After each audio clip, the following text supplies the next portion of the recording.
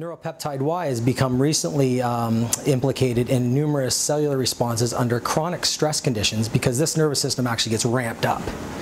And when the system gets ramped up, it releases um, tons of neurotransmitter, which actually causes differential effects other than what it should do under normal conditions. Um, these would include uh, increased um, blood vessel sprouting or, or angiogenesis, um, also uh, increased cellular proliferation or cellular growth, new, more numbers of cells, and also um, cellular migration or the movement of cells throughout the body. Uh, women with a familial history of um, breast cancer um, actually become more stressed out to normal stressors that mo most of us would actually find innocuous or, or not stressful.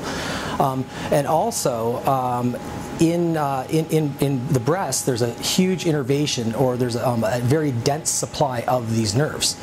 So it would just follow that neuropeptide Y may be released in greater amounts in the, in the female breast um, under stressful conditions.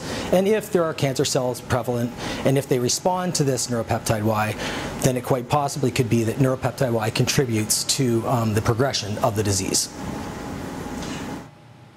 We went through a series of experiments to determine the, uh, the functional consequence of activating these receptors on, uh, on the breast cancer cells. So we looked at neuropeptide Y's effect on cell growth as well as cell migration.